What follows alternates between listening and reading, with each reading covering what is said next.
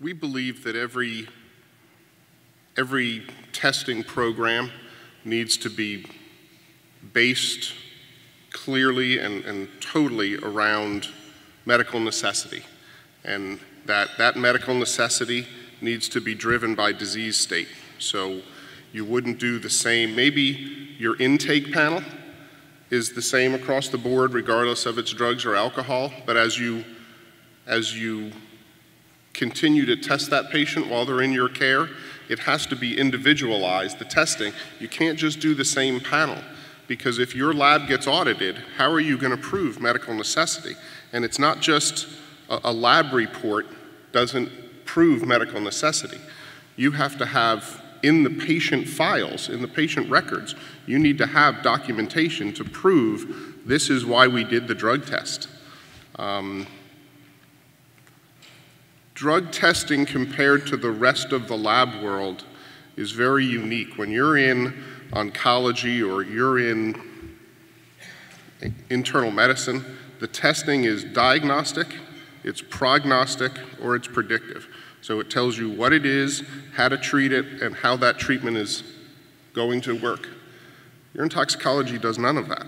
It's a data point with a CPT code. So what does it tell you after intake? It tells you are they doing drugs or not. It's not diagnostic and it's not prognostic and it's not predictive. So in all of those other modalities, there's no money in it. There, there's no, there is no gold rush in oncology. You, you don't do bone marrow so you can make a bunch of money. That, that doesn't even make any sense. So this, this whole thing got corrupted. Um, and, and I'm not sure if, if the lab went to the treatment center and said, hey, by the way, if you send me all your urines, I'll do this. Or if the treatment center said, we have a lot of urines, if you give me 50%, I'll do this chicken or the egg? I, I really don't know. I wasn't part of it then, but I believe, I really do believe this, that that gold rush is coming to an end. We saw the Palm Beach Post yesterday. A guy got arrested. He billed $58 million for urine drug testing, and he got reimbursed 18 million. Now, the problem is,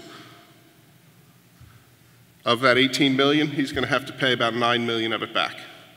If there's a program where you give me 18 and I give you back 9, sign me up today. And that's a problem.